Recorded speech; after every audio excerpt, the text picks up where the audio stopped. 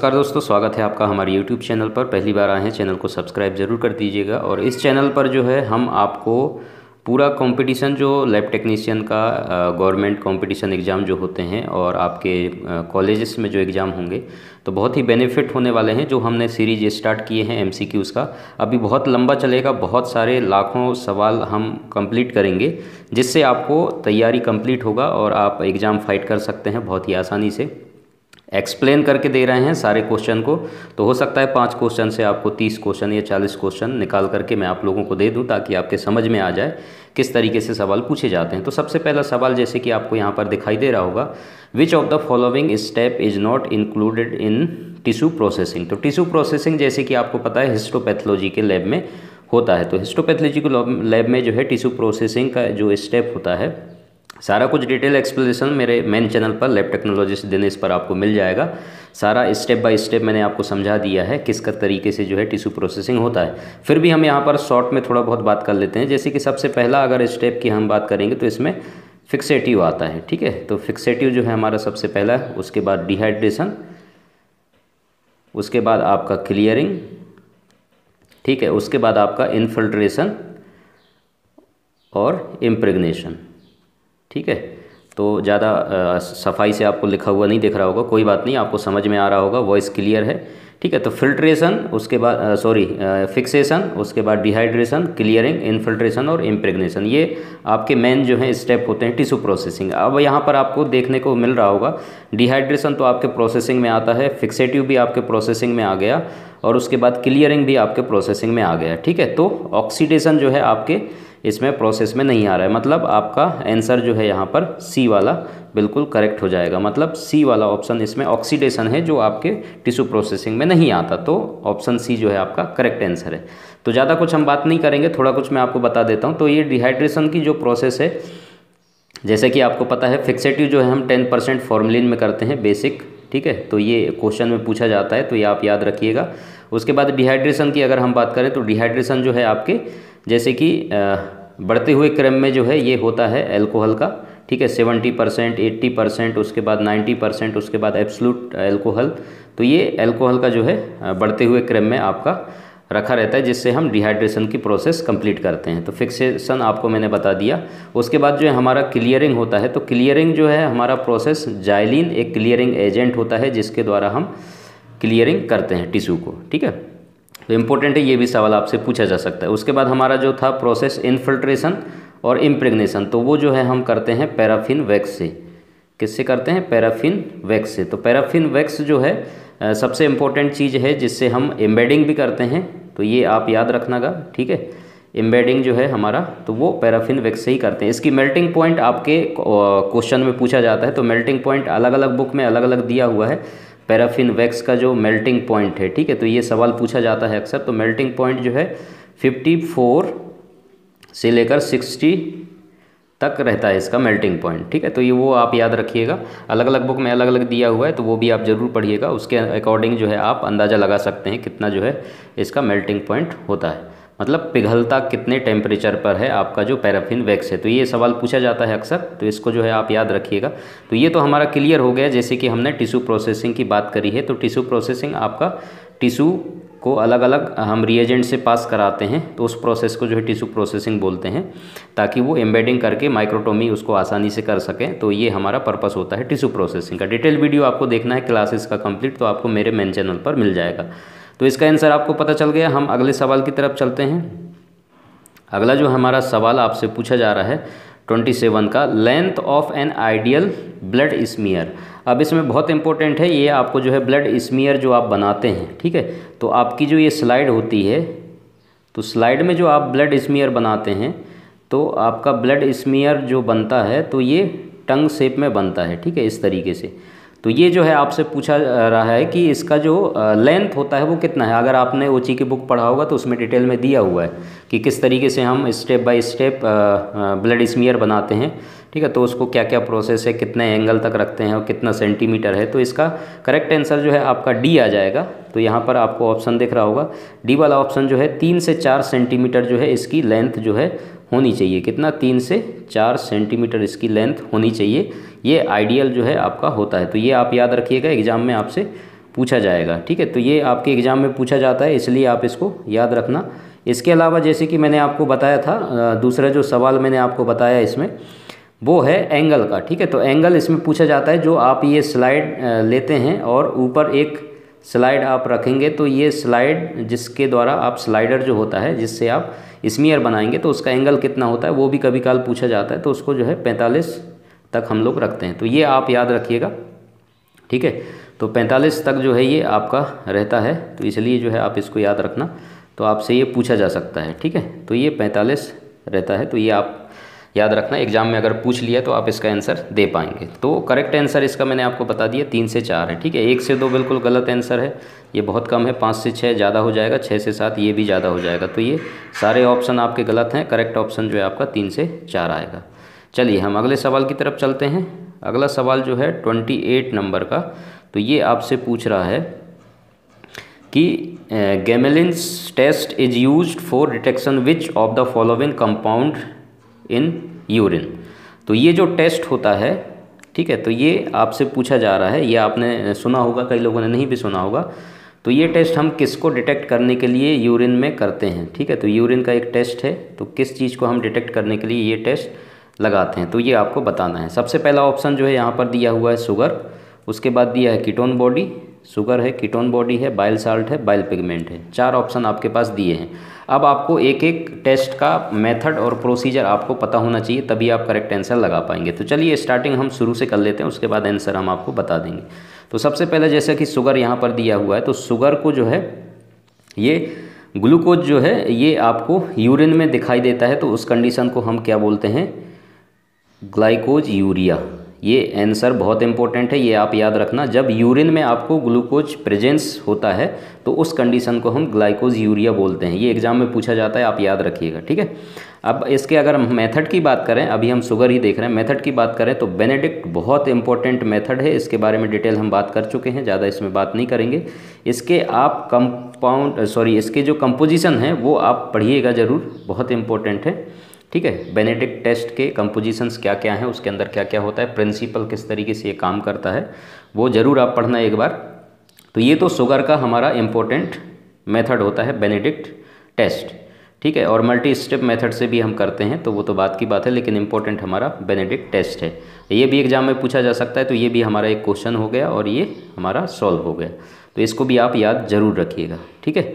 अगले हम ऑप्शन की तरफ़ चलते हैं, हमारा ऑप्शन जो है बी नंबर कीटोन बॉडी तो कीटोन जो अगर इसके बारे में हम बात कर लेते हैं कीटोन बॉडी अगर आपके कीटोन जो है यूरिन में प्रेजेंट होता है तो उस कंडीशन को हम बोलते हैं क्या?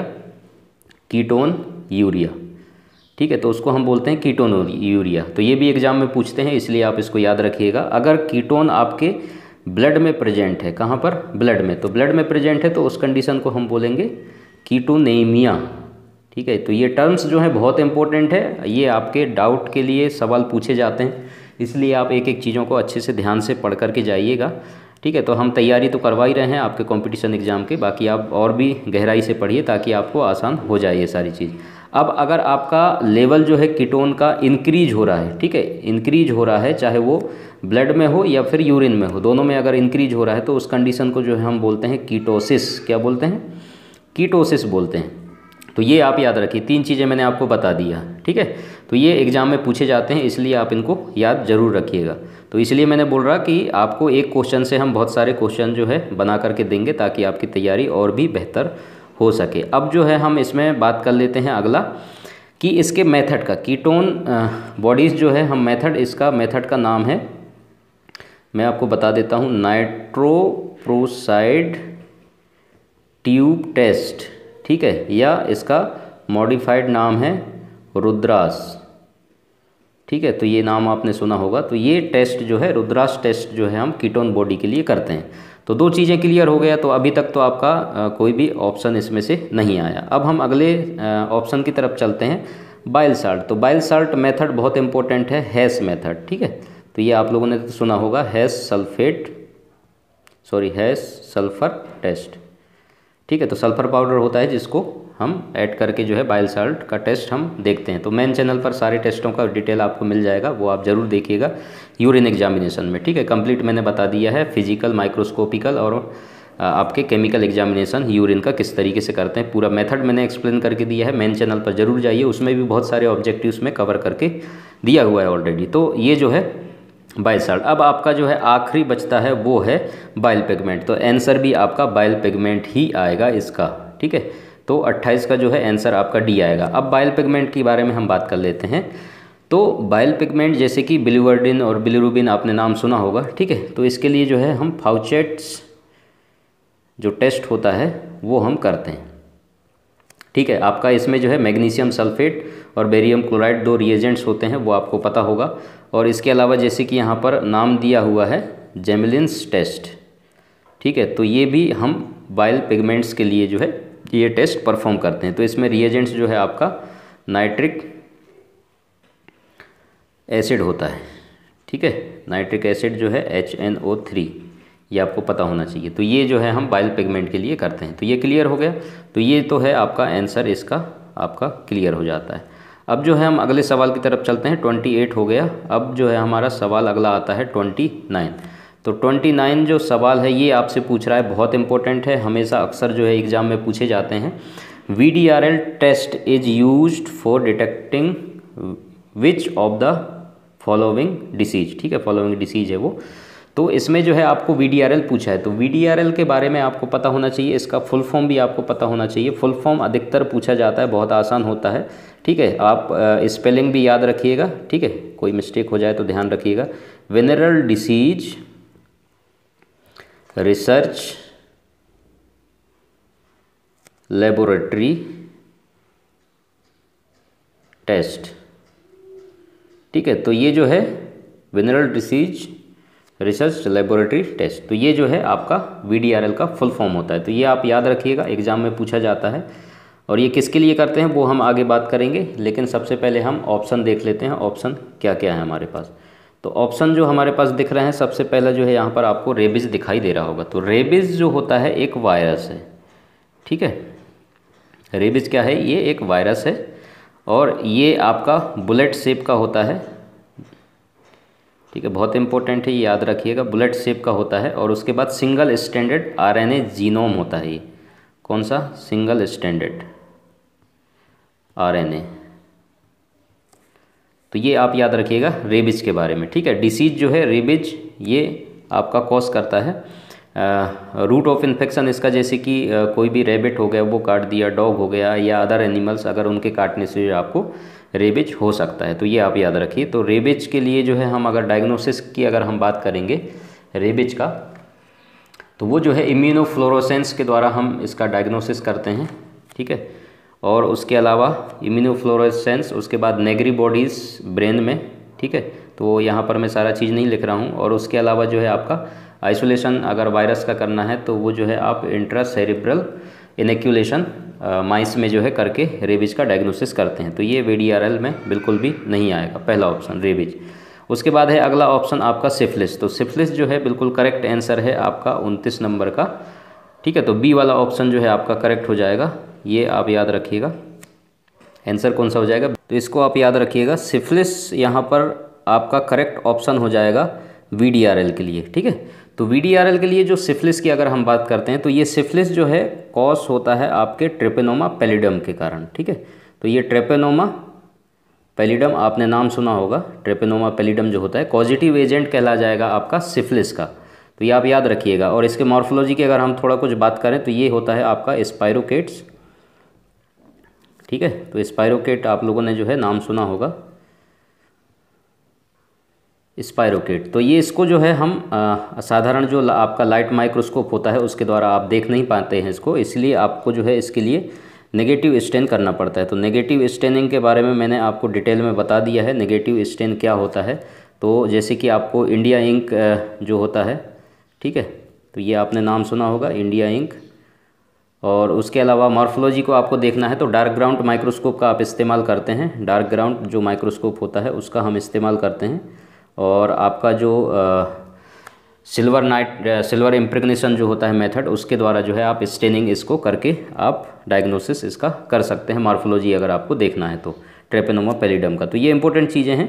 आप ये ज़रूर याद रखिएगा। अब जो है हमारा इसका डायग्नोसिस वाला पार्ट जो है सिफिलिस की अगर हम बात करेंगे तो सीरोलॉजिकल टेस्ट सीरोलॉजिकल जो टेस्ट होते हैं इसमें, वो इम्पोर्टेंट है। तो जैसे कि वीडीआरएल ठीक है तो ये आपके सीरोलॉजिकल टेस्ट होते हैं। वीडीआरएल उसके अलावा आपका आरपीआर उसके अलावा एफटीए ठीक है, उसके अलावा आपका T P H A T P H A ठीक है, उसके अलावा टी पी आई तो ये जो है सब आप इनके फुल फॉर्म ज़रूर याद रखिए, ये सब सीरोलॉजिकल डायग्नोसिस में आते हैं सिफिलिस के अगर पूछा जाएगा तो वो आपको ऑप्शन में आपको पता होना चाहिए, ठीक है? सबका फुल फॉर्म मैं बता देता हूँ, आपको फिर भी याद कर लीजिएगा, लिख लीजिए, पढ़ लीजिए, ठीक है?